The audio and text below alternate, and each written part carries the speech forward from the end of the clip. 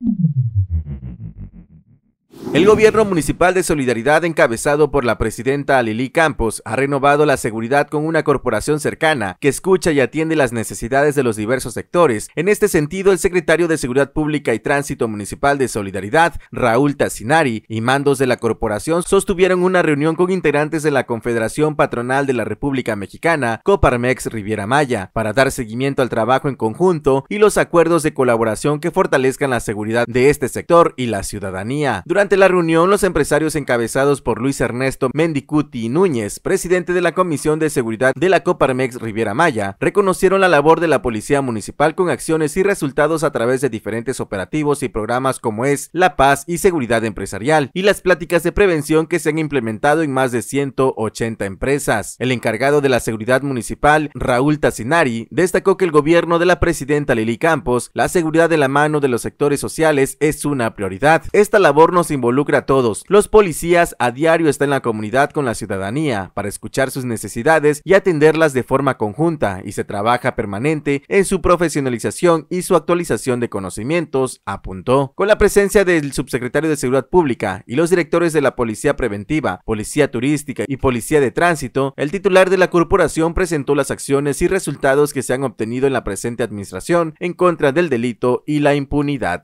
Para Notivisión, Leonardo Hernández.